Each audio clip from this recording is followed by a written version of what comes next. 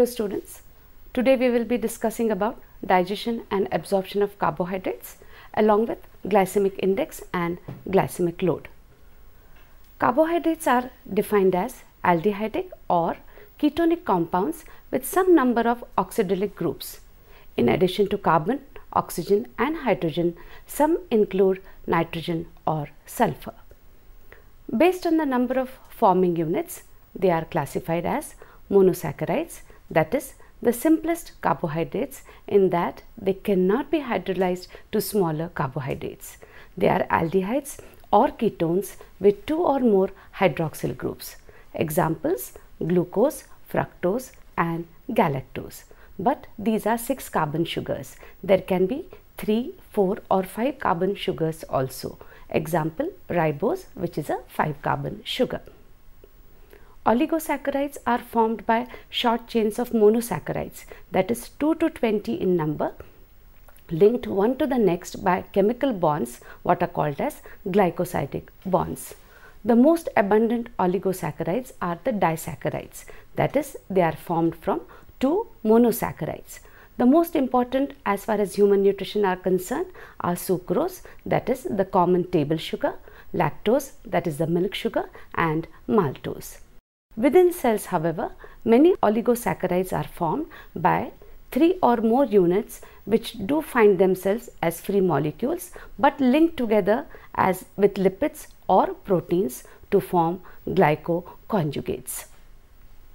This is just an example to show you how disaccharides or oligosaccharides are linked. Maltose, a simple disaccharide with 1,4 glycosidic linkages. Now here is an example of starch or glycogen which has 1,4 as well as alpha 1,6 glycosidic linkages. So polysaccharides then are polymers which consist of 20 to 10 to the power of 7 monosaccharidic units. They differ because of the monosaccharides which recur in the structure for the length as well as the degree of branching of chains or for the type of links between units. They are further classified as homo and hetero polysaccharides. Homopolysaccharides that is they contain only one type of monosaccharide example starch and glycogen. Heteropolysaccharides instead contain two or more different types of monosaccharides example hyaluronic acid. Now if we can just summarize carbohydrates, how they differ. Monosaccharides, examples glucose, fructose, galactose, disaccharides with just two monosaccharides, sucrose, lactose and maltose. Then you have oligosaccharides that is raffinose and stachyose. Now these are abundantly present in peas and lentils. These are the ones which cannot be digested and they cause flatulence. Then we have polysaccharides that is starch, glycogen or cellulose. Let us just have a brief look at the functions of carbohydrates. Carbohydrates are the body's main source of fuel. They spare protein so that proteins can do their other functions. Then carbohydrates are needed for the central nervous system, the kidneys, the brain, the muscles so that they function properly. Carbohydrates can be stored in the muscles as well as liver as glycogen and can be later used as energy. As fiber, Carbohydrates are important for the health of the intestines and for the waste elimination. They also decrease the risk for heart disease, obesity and they help, also help in lowering cholesterol. As ribose and deoxyribose, they are part of the genetic material that is DNA and RNA. They are also needed for the oxidation of fats. As lactose, it promotes the growth of the desirable bacteria in the GIT and also helps in calcium absorption. They are needed for the synthesis of non-essential amino acids. They are also the structural components of many organisms which include fiber of the plants, exoskeleton of the insects as well as the cell wall of microorganisms. Now let us look at some of the sources of carbohydrates in the diet. Cereals, millets and their products like rice, wheat, jowar, bajra, ragi, corn, bread. Then you have your legumes and pulses, your red gram dal, black, green, Bengal gram dal, lentils. Then we have our roots and tubers like potato, sweet potato, carrot, beetroot. We have fruits, banana, mango, custard apple, jackfruit. And of course our sugars, table sugar, glucose, honey and jaggery. Of course, milk and milk products become the only source of lactose. Now let us look at the carbohydrate content some of the commonly consumed fruits. Sugar 99 grams per 100 grams, jaggery 95, sago 87, rice has 78 and as we come down we have both potato and banana having 23 grams of carbohydrates per 100 grams. And coming to the recommended allowances because this is very important particularly the young generation which believe in fat diets and go on low carb diets. Carbohydrates supply the largest proportion of energy. Carbohydrates should be taken in sufficient quantity so that it satisfies hunger and after the need for the other nutrients is satisfied, carbohydrates become the sole source of energy. Excess carbohydrates gets converted to fat and can be stored in the body. But a minimum amount of 100 grams of carbohydrates are required for the body to prevent ketosis. Generally, it is recommended that 60% of the daily energy requirement should be met from the carbohydrates. Now, let us come to the digestion of carbohydrates. Carbohydrate digestion begins in the mouth. The salivary glands in the mouth secrete saliva, which helps to moisten the food. The food is then chewed while the salivary glands also release the salivary alpha amylase also known as ptyalin and here begins the process of breaking down of the polysaccharides in the carbohydrate food. Its activity is very slight compared to that of pancreatic amylase in the small intestine and it releases traces of dextrin and maltose. Now this is because the food is exposed to this enzyme for a short period of time because once the food reaches stomach this enzyme gets neutralized because of the presence of the uh, HCl that is present in the stomach.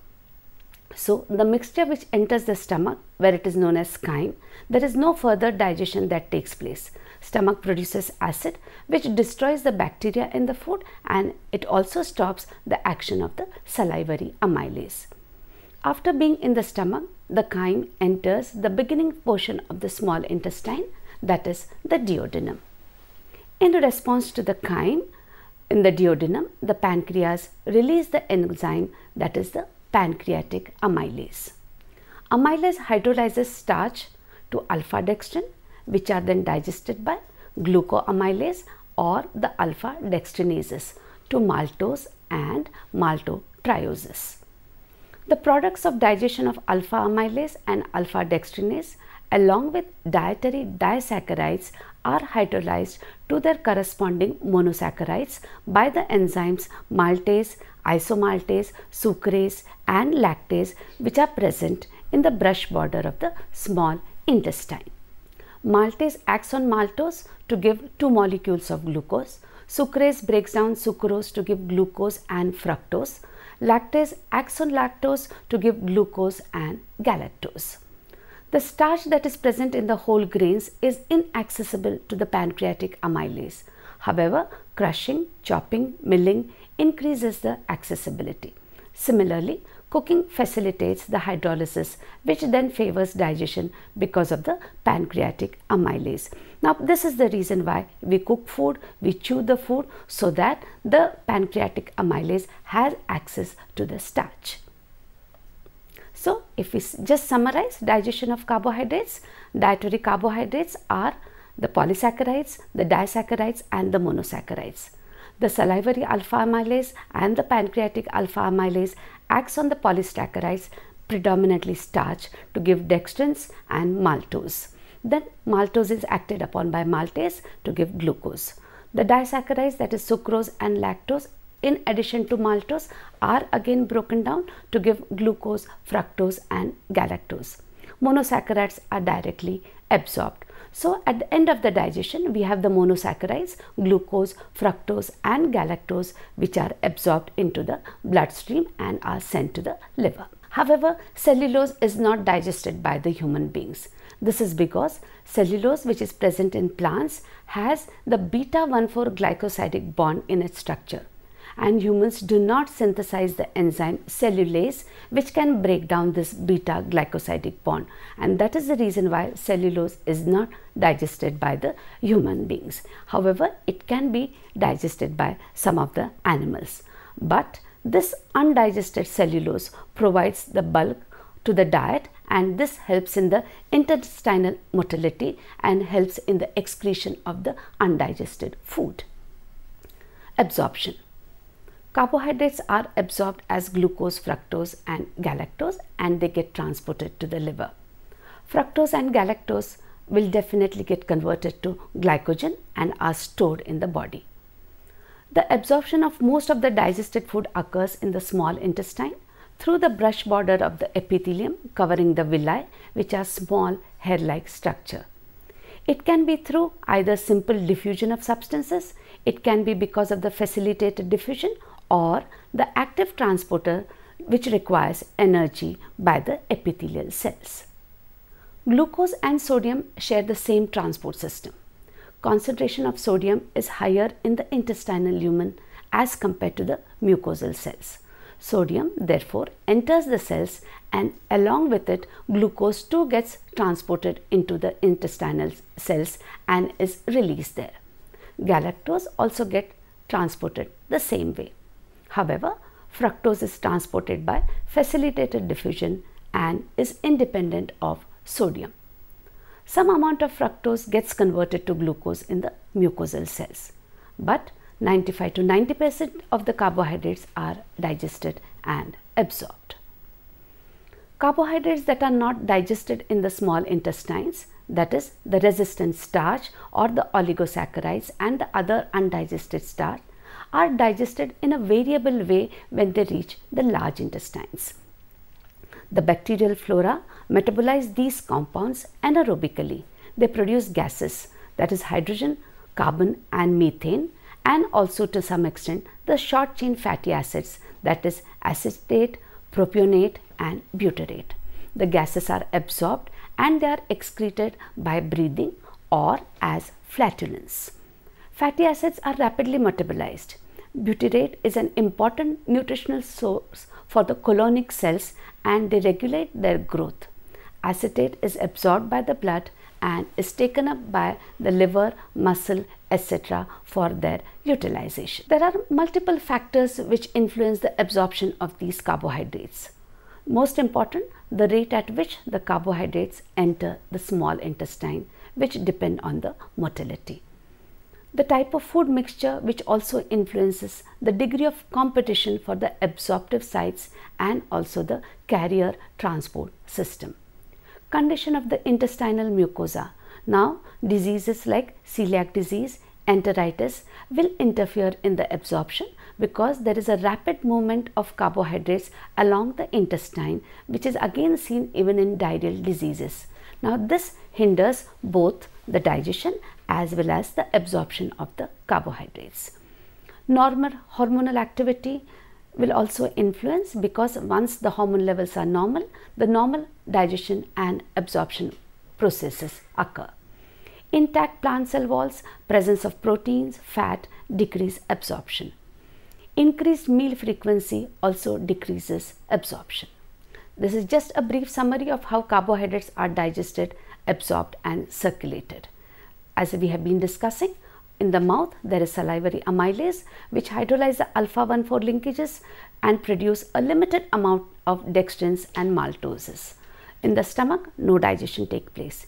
In the small intestine, we have pancreatic amylase, we have maltase, sucrase, lactase and these help in breakdown of starch, dextrins, maltoses and the other disaccharides and the net result we have glucose, galactose and fructose which enter the hepatic circulation and then enters the systemic circulation to be distributed all over the body. Now related to this are two major concepts that is glycemic index and the glycemic load. They tell us how fast blood sugar levels rise and this is very very important as far as diabetics are concerned and that is the reason why we need to briefly understand glycemic index and the glycemic load. Glycemic index or known as GI measures how carbohydrate containing food raise the blood glucose levels. Foods are ranked based on how they compare to a reference food which can be either glucose or the white bread. GI can be defined as the incremental area under 2 hours of plasma glucose curve after eating 50 grams of carbohydrate from any test food divided by incremental area under 2 hours plasma glucose curve after eating 50 grams of carbohydrate from white bread. Generally white bread is taken as a standard and this is multiplied by 100. A food with a high GI raises blood glucose more than a food with a medium or low GI.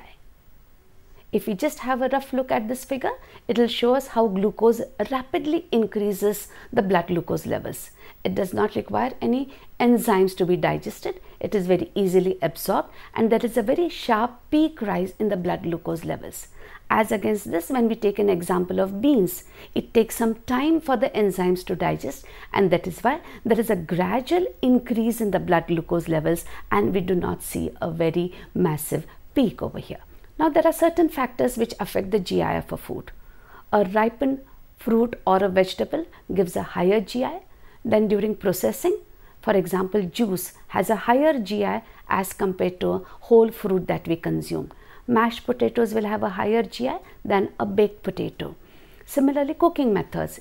When the foods are cooked for a longer period of time, they get hydrolyzed and the GI value increases. Similarly, different varieties. There are certain varieties of rice which give a higher GI value as compared to the other varieties. There are certain important considerations. The GI value represents the type of carbohydrate in a food but talks nothing about the amount of carbohydrate which is typically consumed. Portion sizes are still relevant when we manage the blood glucose levels whether for losing or for maintaining body weight. Similarly, the GI of a food is different when eaten alone than when it is combined with other foods. When eating a high GI food, it can be combined with foods which have a low GI value so that the balance can be very well managed. There are some of the examples of low GI foods that is 55 or less. You have your oat bran, muesli, pasta, sweet potato, corn, peas, most of the fruits and yogurt. There are certain foods which we classify as a medium GI values ranging from 56 to 69. You have your oats, brown rice, sweet corn, rye, pita bread and there are certain foods which have a high GI value that is 70 or more. You have your white bread, cornflakes, puffed rice, you have rice pasta, macaroni, pumpkins, potatoes, melons and pineapples. So to counteract this, we have another concept which comes as GL. Now, glycemic load of a food is a number that estimates how much the food will raise a person's blood glucose level after eating it. One unit of GL approximates the effect of consuming 1 gram of glucose. Glycemic load accounts for how much carbohydrate is in the food and how much each gram of carbohydrate in the food will raise the blood glucose level.